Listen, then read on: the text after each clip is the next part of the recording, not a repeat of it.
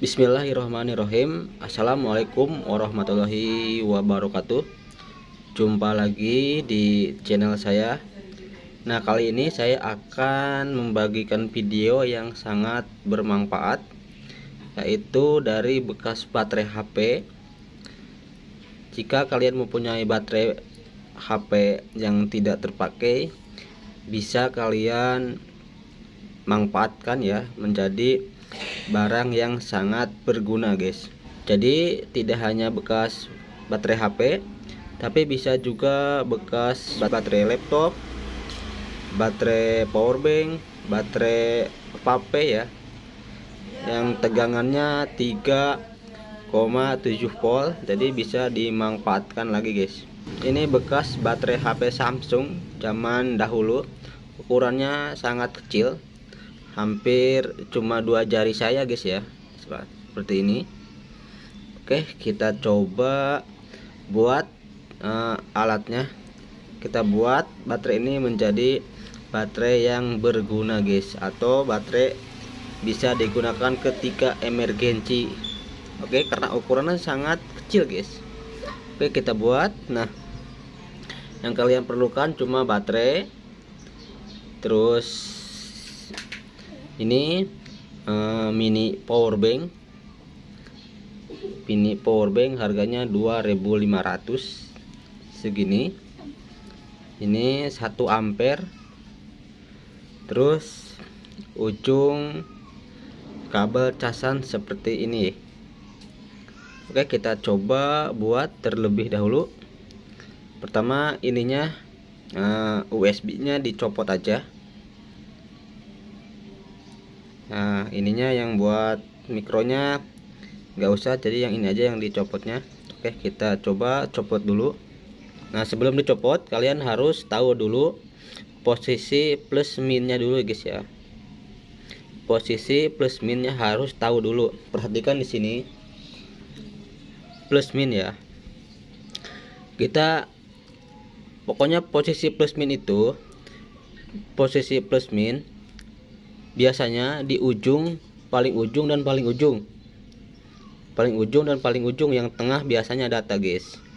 Jadi cara menentukannya kalian cari posisi kaki min dulu. Berarti sisanya tinggal plus. Nah min posisi min kaki min biasanya dia nyambung ke ground atau ke tanda min biasanya guys ya. Nah ini kan ini ini minnya nih. Ini adalah kaki min. Nah kalau lihat di sini di sini kan ada plus ada min. Jadi posisi min biasanya dia nyambung ke sini guys. Nah ini kan min. Ini min dan nyambungnya ke kaki ini. Berarti yang ini plus. Ya berarti yang sebelah kanan adalah plus ya.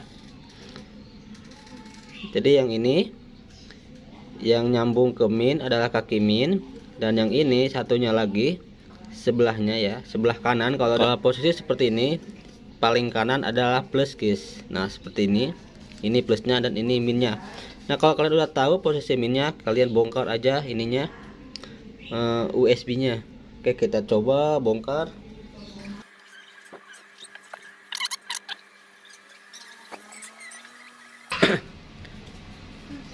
Nah ini setelah dicopot ya ininya USB nya jadi kelihatan nampak seperti ini ya nah nampak seperti ini. Jadi yang ini adalah min. Ini adalah min. Nyambungnya ke sini. Nih ya. Ini sebagai min. Dan yang ujung paling kanan yang ini adalah plus ya. Nah yang ini. Dia nyambungnya ke kapasitor ke dalam. Nah yang ini nyambungnya ke sini ya guys. Nah oke. Okay, kalau udah seperti ini kalau udah dicopot nah ininya di ini ya ini bekas casan yang enggak kepake. Kalian tinggal buka aja dalamnya. Dibongkar dalamnya. Oke kita coba.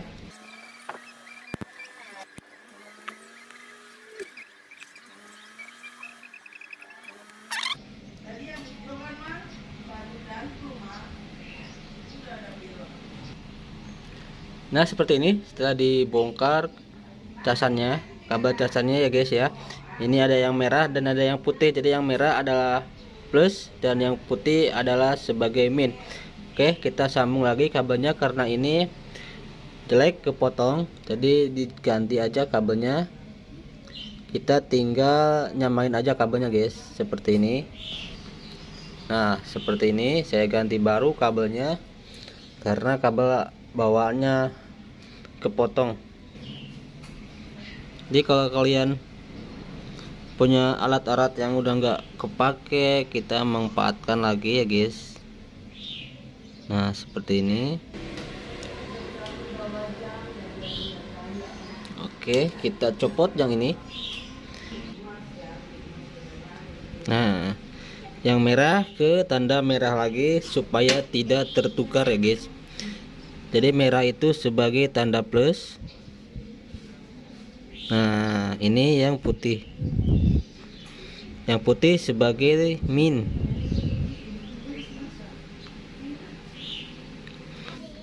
Nah seperti ini. Setelah disambung ulang ya karena tadi pas ketika e, ngebongkarnya kepotong guys.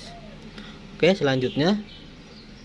Nah seperti ini. Oke selanjutnya kita pasang yang plus ke tanda plus min ke min ya yang tadi di bekas ini. Nah di sini. Di bekas USB tadi kita pasang lagi yang min ke min yang plus ke plus ini guys. Oke kita coba pasang seperti ini.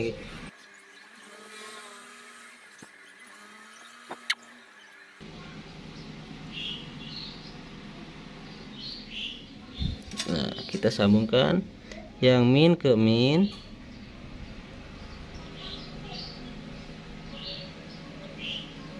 Nah seperti ini dan plus ke plus guys.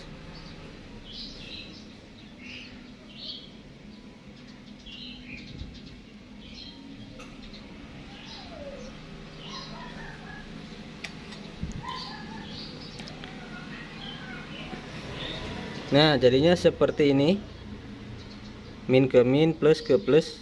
Oke kita coba rakit. Nah ini kita tempel di sini.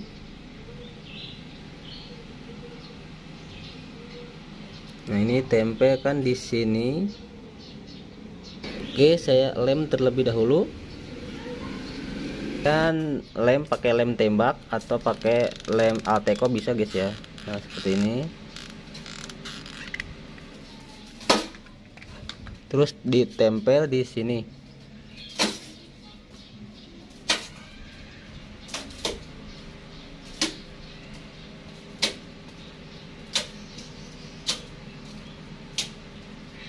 Nah seperti ini. Terus satu lagi tempel juga di sini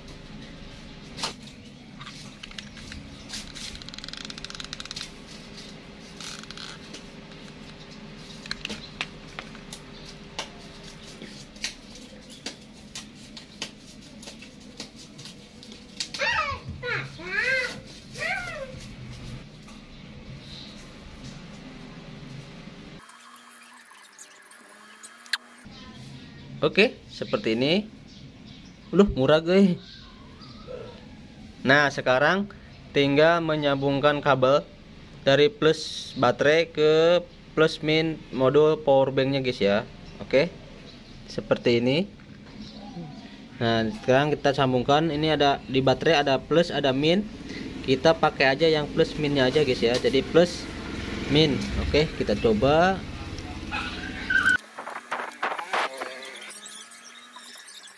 Nah, coba perhatikan yang merah ke tanda plus baterai.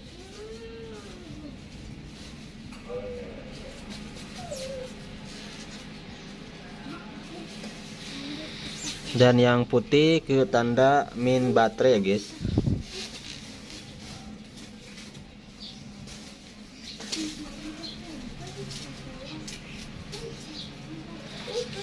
Nah, seperti ini coba perhatikan jadi yang merah ke tanda plus baterai dan yang putih ke tanda min baterai. Oke sekarang kita tinggal sambungkan.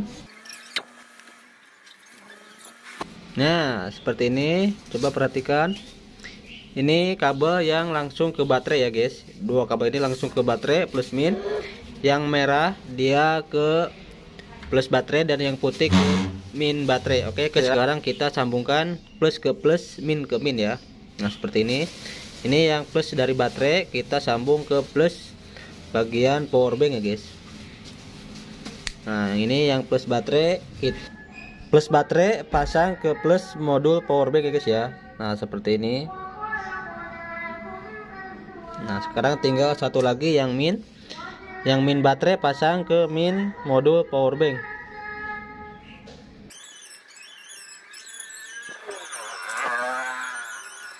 min baterai pasang ke min modul power bank guys. Nah seperti ini.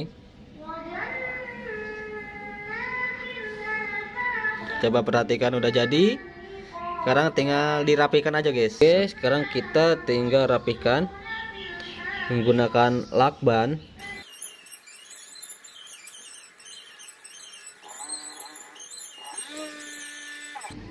Nah seperti ini guys. Udah jadi ya. Ini sangat mini guys Oke Nah ini bisa kita gunakan sebagai power bank darurat dan bisa kita bawa ke mana-mana Nah guys sekarang kita cobain coba perhatikan Nah kita colok ke sini guys Nah, nyala ya. Oh. Ngisi, guys. Ngisi. Wah, mantap. Mantap, euy. Oh, ngisi, guys. Ya. Jadi ini sebagai power bank mini, guys. Hahaha, mantap ya. Jadi kalau kalian punya baterai-baterai bekas, bekas laptop, bekas HP yang nggak kepake, kalian bisa gunakan lagi, guys. oh, mantap guys ini berfungsi dengan baik guys nah sekarang kita coba cas guys nah sekarang kalau habis bisa di cas guys. Nah coba perhatikan. Kita cas nah. Seperti ini guys. Jadi kalau habis tinggal di cas ya. Ini sebenarnya nyala no. Kedip-kedip guys no. Cuman lampunya masang di dalam guys. No nyala ya. Lampu indikator ngecasnya dia jalan. Tuh. Oke? okay? Kalau pingin lebih kalau misalkan pingin uh, lebih awet bisa pakai dua atau tiga baterai ya guys jadi lebih awet nantinya oke okay?